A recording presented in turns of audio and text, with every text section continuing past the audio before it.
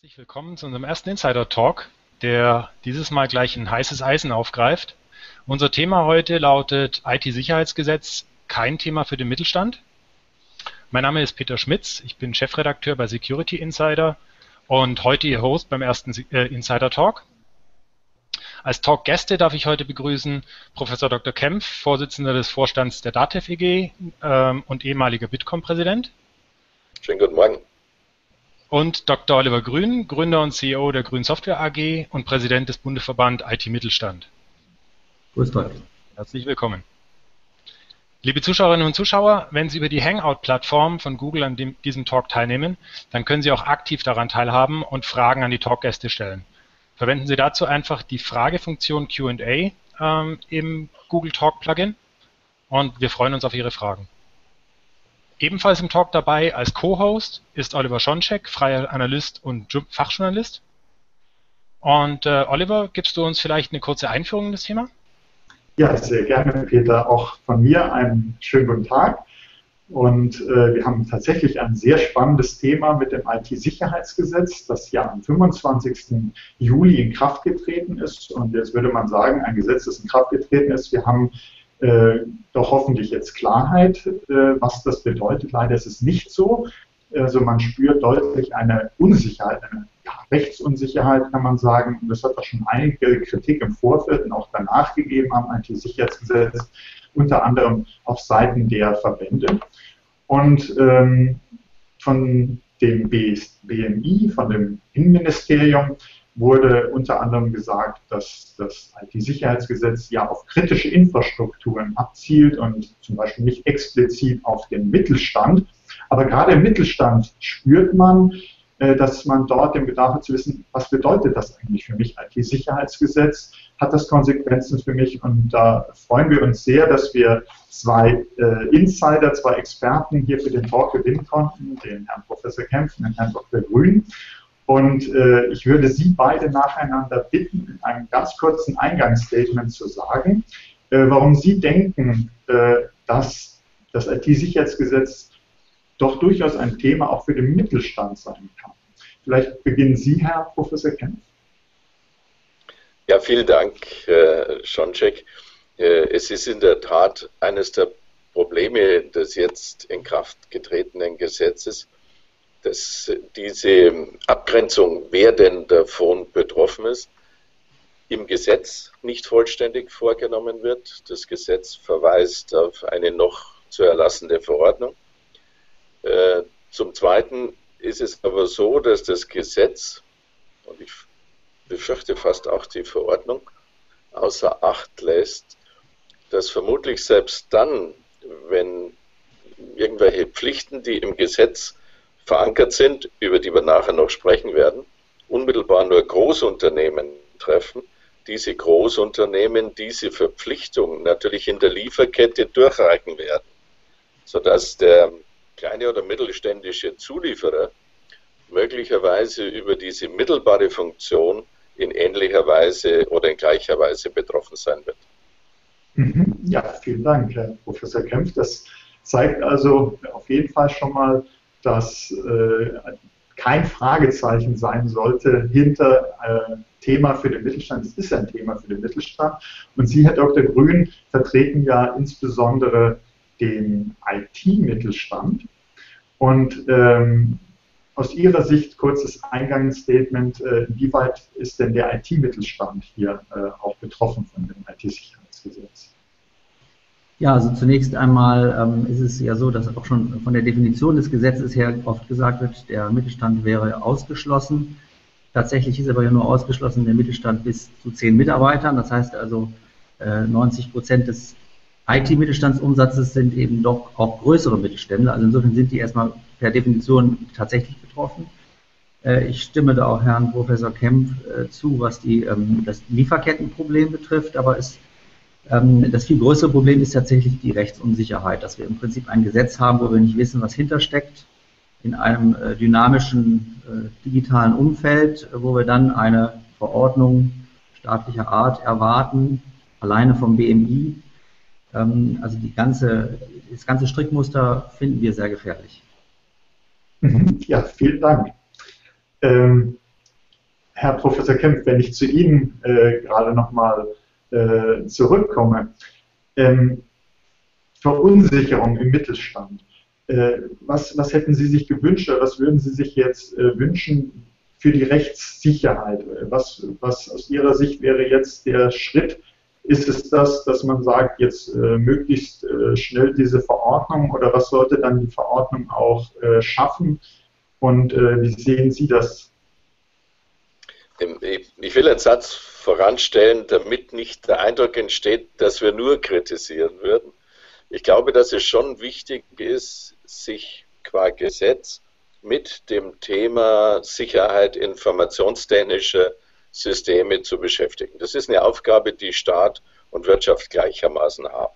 Also deswegen haben wir die Initiative grundsätzlich begrüßt. Wenn wir jetzt Kritik üben, dann an Details, von denen wir glauben, dass man sie im Laufe des Gesetzgebungsprozesses irgendwie vergessen hat oder zur Seite geschoben hat. Beispiel Nummer eins, eine sehr globale Empfindung. Wir haben begonnen mit einem sehr kooperativen Ansatz. Staat und Wirtschaftsunternehmen, ganz egal welcher Größe, arbeiten kooperativ zusammen, um diese Sicherheit zu erhalten. Ähm, mit dem jetzt im Gesetz verankerten Thema Bußgelder bei sehr niedrigen Schwellen relativ hohe Bußgelder bis zu 100.000 Euro. Das ist für einen Mittelständler mehr als nur ein Wort. Ich denke, das wird der Grünen bestätigen. Äh, verlässt man, glaube ich, ein Stück weit diesen kooperativen Ansatz. Was hätten wir uns gewünscht? Eine im Gesetz enthaltene Definition der betroffenen Unternehmen, nicht in einer Verordnung. Verordnungen und Gesetze haben ganz unterschiedliche Entstehungswege und Entstehungsgeschichten.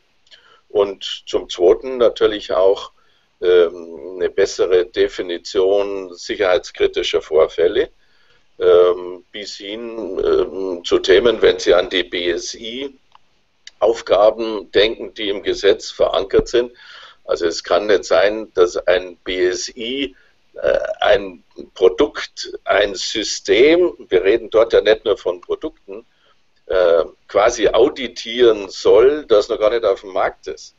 Und dann möglicherweise äh, eine sicherheitskritische Meldung über ein noch nicht am Markt befindliches Produkt oder eine Dienstleistung rausgibt, da muss man die Frage des Reputationsschadens schon mal deutlich artikulieren. Und jetzt schließt sich für mich der Kreis kooperativer Ansatz. Mit manchen dieser Details hat man den außer Acht gelassen. Mhm.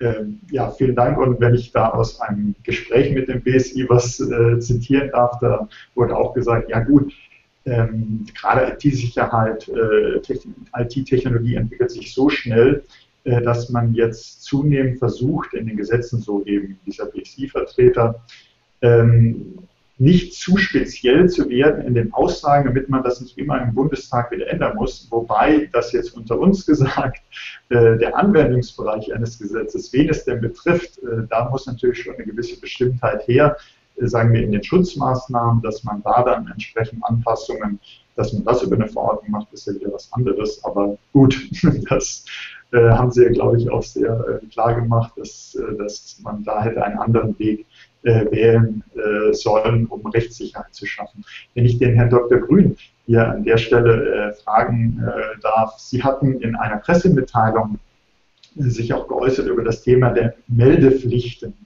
und hat noch auf eine Vielzahl und möglicherweise Zunahme von Meldepflichten hingewiesen, während beispielsweise die Zürich-Versicherung kürzlich gesagt hat, eigentlich würden sie sogar dafür plädieren, Meldepflichten noch auszuweiten. Äh, inwieweit sehen Sie denn das Thema Meldepflichten und Mittelstand äh, als mögliches Problem? Ja, also zunächst mal möchte auch ich nochmal vorwegschicken, dass wir natürlich auch es richtig finden, dass man sozusagen einen Schutz bringen muss aller gegen ja, Angriffe, aber auch gegen Ausfälle, was ja letztlich auch Thema der IT-Sicherheit ist. Ähm, ähm, vorweg ist für uns hier auch der, die Strategie eigentlich eine falsche, also der strategische Ansatz. Ähm, ich möchte nur kurz erwähnen, dass wir ganz wirklich ähm, schwierig finden, dass äh, es im Prinzip in der EU, wir müssen eigentlich solche Dinge europaweit lösen und dass in der EU die ähm, EU-Richtlinie zur Netz- und Informationssicherheit, NIS genannt, weit fortgeschritten ist und trotzdem Deutschland national hingeht und quasi vorweg galoppiert. Ähm, äh, das sind Dinge, die wir überhaupt nicht nachvollziehen können in der heutigen Zeit. Und das zweite ist eben der strategische Ansatz. Also sicherlich ist es so, dass man hier gemeinsam mit Wirtschaft und Staat etwas tun muss. Also stimme ich Herrn Kempf da auch zu, dass dieser kooperative Ansatz also für uns schon am Anfang äh, zu wenig war.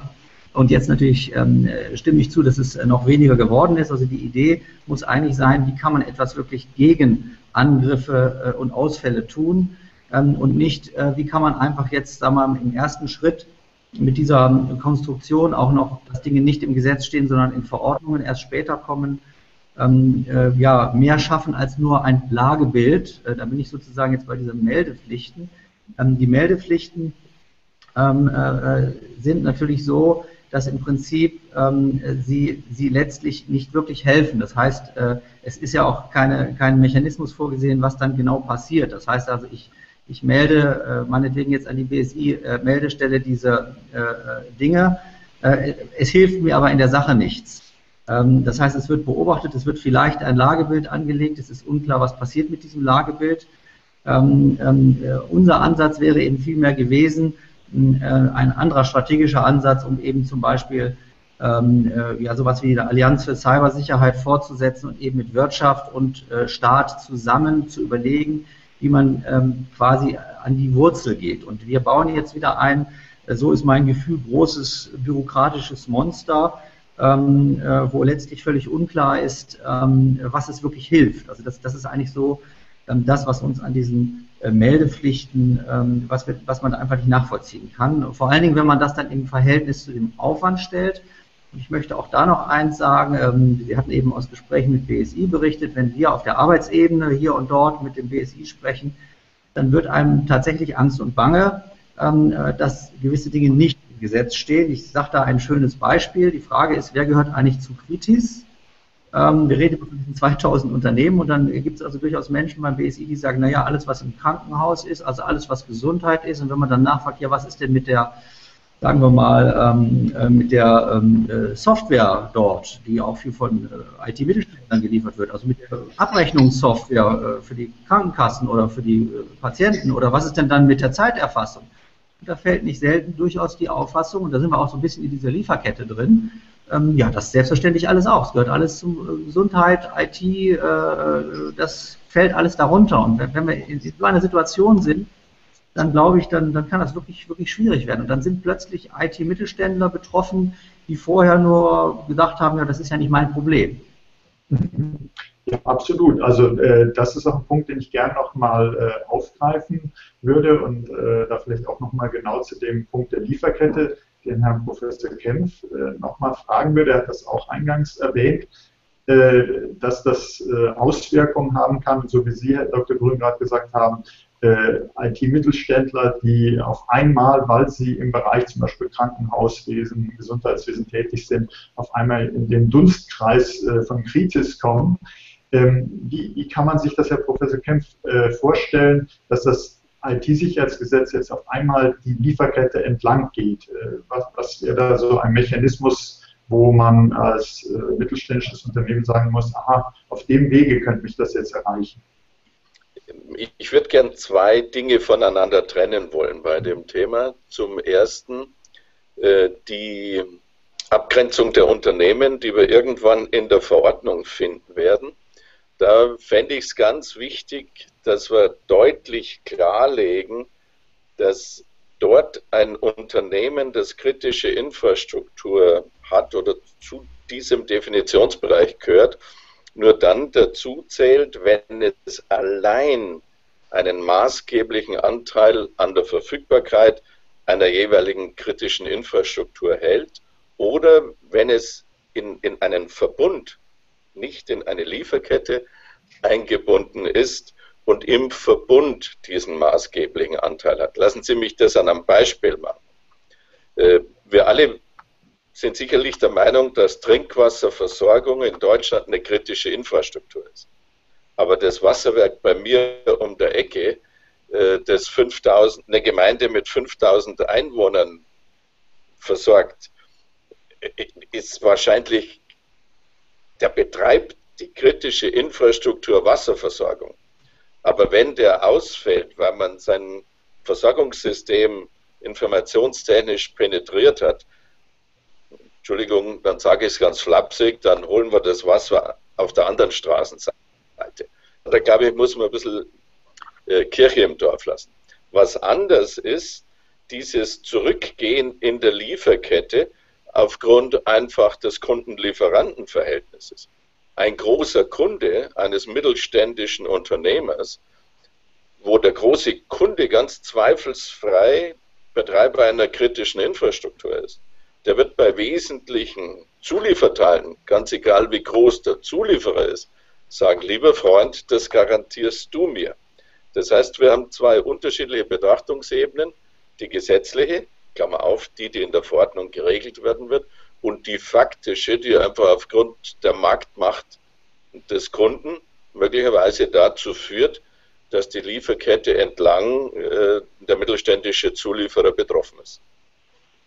Mhm. Also äh, sehen wir jetzt an den äh, schönen Erläuterungen sehr, äh, man kann sich das bildhaft vorstellen, äh, was eigentlich, äh, wo man schauen sollte, was ist wirklich kritisch, was ist nicht kritisch und äh, wie kann sich denn die Kritikalität denn plötzlich vererben, wenn man so möchte, entlang der Lieferkette oder auch einfach über Verträge abgewälzt werden, die Forderungen. Und ähm, da sehen wir also, dass äh, man im Mittelstand schon äh, das Thema, äh, was ist eine kritische Infrastruktur und was nicht, also da ganz genau äh, hinterher sein muss, um zu wissen, äh, wie ist man betroffen, was kann das bedeuten. Und ich möchte aber in diesem Talk auch noch, weil das ist ein kleiner Exot, dieses Thema, was ich jetzt da ansprechen möchte, auch, es wird über kritische Infrastrukturen geredet. Herr Dr. Grün, die Frage würde ich gerne an, an Sie richten. Ähm, da gibt es auf einmal was in dem IT-Sicherheitsgesetz, wo äh, da manche überrascht waren und gesagt, was ist das jetzt plötzlich? Da steht was mit geschäftsmäßigen Webseiten. Und ähm, ist das jetzt beispielsweise schon, äh, das ist jetzt geschäftsmäßige Website, das ist schon mal das Erste, was äh, manche umhaut, wenn sie das lesen. Die sagen dann, ja toll, wir haben eine Webseite, unser Verein, und um da irgendwas zu refinanzieren, haben wir auch eine Werbung drauf geschaltet. Ist das jetzt geschäftsmäßig oder nicht? Sind wir davon betroffen? Und äh, was, was bedeutet das überhaupt? Was hat das jetzt plötzlich äh, da drinnen äh, zu suchen? Nicht jeder äh, versteht sozusagen diese Struktur von dem IT-Sicherheitsgesetz, dass man da äh, zig andere Gesetze mit ändert, wie jetzt zum Beispiel das Telemediengesetz. Und dann ist man, sagt man, was soll das jetzt hier? Kritische Infrastruktur und Webseite. Welche, welche Konsequenzen sehen Sie denn da einerseits für IT-Dienstleister, Dr. Grün, und vielleicht auch die Betreiber selbst? Ja, ähm, äh, ganz kurz noch zum äh, vorherigen Fall. Also ich bestätige natürlich absolut, dass wir glauben, dass dieser Dominoeffekt, den Herr äh, Professor Kempf hat, eintreten wird, weil es immer so ist, dass wenn ein, ein großer IT-Anbieter ähm, letztlich irgendwelche Dinge zu erfüllen hat, das ist ja auch der Klassiker im Datenschutz, logischerweise, dass man sozusagen diesen Dominoeffekt das einfach durchschiebt bis nach unten und dann landet es natürlich bei den ganzen äh, Subdienstleistern, die dann häufig mittelständisch sind. Ähm, ja, zu Ihrer Frage, letztlich ähm, wird ja auch in den Medien immer viel gesagt, das geht, es geht ja nur um die Kritis. Da haben wir jetzt einmal gerade festgestellt, dass das eventuell doch noch viel mehr betrifft, nämlich die ganzen, die da dranhängen. Ähm, das Zweite ist aber eben, dass tatsächlich das IT-Sicherheitsgesetz an so vielen Stellen andere Gesetze verändert, dass es auch eine andere äh, Stoßrichtung hat, als, ähm, sagen wir mal, äh, aus unserer Sicht äh, immer beteuert wird. Und das ist genau diese, ähm, diese Thematik, die Sie ansprechen. Das ist ja eine Änderung im Telemediengesetz, ähm, das geschäftsmäßige Betreiben von Webseiten, dass hier eben ein, ähm, ein, äh, so ein, ein, Schutz hergestellt werden muss, äh, soweit technisch möglich. Ähm, die Frage ist auch wieder, was heißt jetzt soweit technisch möglich? Ähm, also hier ist tatsächlich ist so, dass auch hier ein sehr, sehr unbestimmter Rechtsbegriff ist, eigentlich fast so ähnlich, wie wir das eben bei den Kritis hatten, wo die äh, ähm, Rechtsbestimmtheit äh, fehlt. Also eigentlich haben wir ein Gesetz, wo wir gar nicht wissen, für wen es gilt. Ähm, ähm, wir glauben, dass es tatsächlich so ist, dass hier eine neue Möglichkeit besteht, natürlich auch ja, jeden, der eine Webseite betreibt, ich sage jetzt mal geschäftsmäßig, da muss jetzt sicherlich ein Richter mal entscheiden, was denn das dann heißen wird. und sie nicht, soweit technisch möglich, was auch immer das heißt, schützt, kann er natürlich angegriffen werden. Sie müssen sich natürlich vorstellen, ein Mittelständler, der eine Webseite betreibt, ähm, ähm, jeder wird oder kann einmal gehackt oder angegriffen werden und wenn ich dann aber eben einen Geschäftspartner hat, habe, hat der natürlich plötzlich eine, neuen, eine neue Möglichkeit anzugreifen, also im Prinzip zu klagen. Und die Frage ist einfach, wollen wir jetzt hier eventuell Klagewellen oder irgend so etwas verursachen, indem wir so undeutliche Gesetze und unbestimmte Rechtsbegriffe in Gesetze wirklich haufenweise integrieren. Und das genau ist etwas, was wir nicht gut finden. Und übrigens auch wieder trifft das natürlich wieder nur, ähm, äh, äh wenn ich eben, also ich bin nur in Deutschland betroffen und nicht europaweit. Das, das schlägt immer wieder durch, dieses Thema, dass wir hier ständig, ich will jetzt gar nicht auf Vorratsdatenspeicherung und all die anderen Sachen ähm, äh, äh, ähm, oder freies WLAN äh, zu sprechen kommen. Es, es ist wirklich nicht mehr nachvollziehbar für uns, warum wir uns überall immer diese zusätzlichen Hürden aufbauen, die aber im Gegensatz dazu nicht viel helfen. Also wir glauben, dass dort eine Klagewelle kommen könnte, die natürlich wie immer verhältnismäßig mehr die Mittelständler betrifft, weil die eben nicht wie vielleicht ein großer Konzern ohnehin ihre Juristen, um das abzuwehren, gegebenenfalls.